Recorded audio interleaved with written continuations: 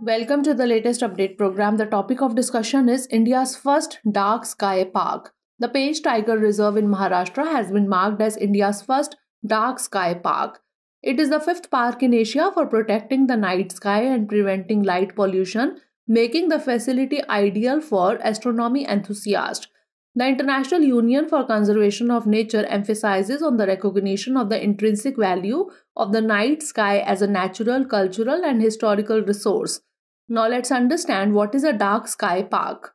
A dark sky preserve is an area usually surrounding a park or observatory that restricts artificial light pollution. The purpose of the dark sky movement is generally to promote astronomy. The Indian Astronomical Observatory, that is IAO, is India's first dark sky preserve. IAO is a high altitude astronomy station located in Hanle and operated by the Indian Institute of Astrophysics. Now information about Pench Tiger Reserve. Pench Tiger Reserve or Pench National Park is one of the premier tiger reserves of India. It is the first one to straddle across two states, Madhya Pradesh and Maharashtra.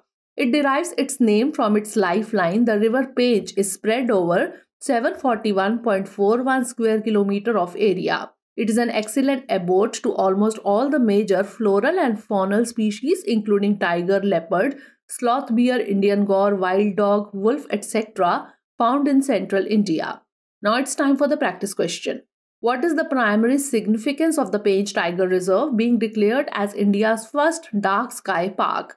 It is the largest tiger reserve in India. It will serve as a major tourist attraction. It aims to protect the night sky and reduce light pollution for astronomy. Or it is the only tiger reserve in India to straddle two states.